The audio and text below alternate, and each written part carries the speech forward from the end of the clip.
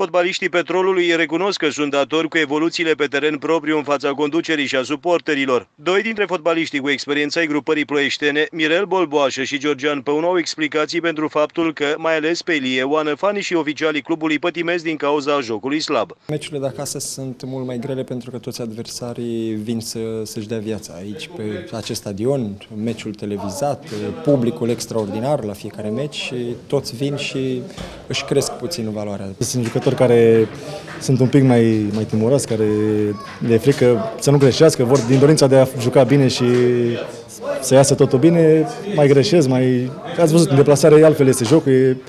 dar oricum, sperăm că meciul viitor vineri să, să ne iasă totul, să câștigăm la scor, să-i mulțumim pe acest suport de care tot timpul stă Arsenal de Ilfov, așa cum se prezintă cei din Tunare, au jucat cu Petrolul și Alexandria candidatele la promovarea în Liga a doua, iar pata de culoare a echipei, nigerianul Fatai, susține că petroliștii au prima șansă.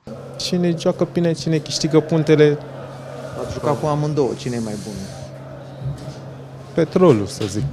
Petrolul va juca mâine de la ora 16 pe teren propriu cu Chiajna 2 în deschiderea etapei a 19 din Liga 3. Biletele pentru acest joc sunt disponibile la punctul de vânzare de la stadion, dar și prin rețeaua partener.